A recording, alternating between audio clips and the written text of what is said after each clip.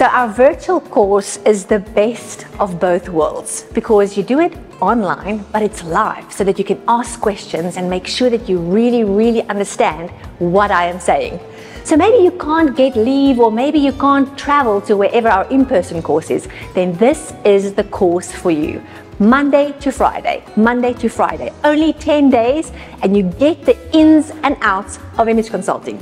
You do the rest of the course online, all the quizzes, all the tests, all the assignments online, but you do it in your own home at your own time. This is a winner. Nine syllabuses, amazing manuals, everything is included, and we throw in some personal stylists just for the fun.